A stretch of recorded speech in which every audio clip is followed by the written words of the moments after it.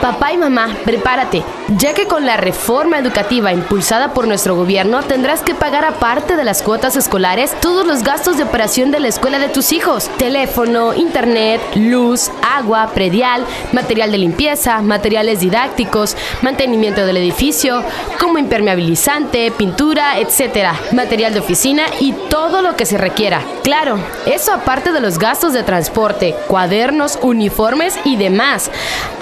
Pero tus hijos podrán comprar alimentos saludables dentro de las escuelas. Eso si tienes dinero para darles. Sindicato Nacional de Trabajadores de la Educación, unidos por sus derechos.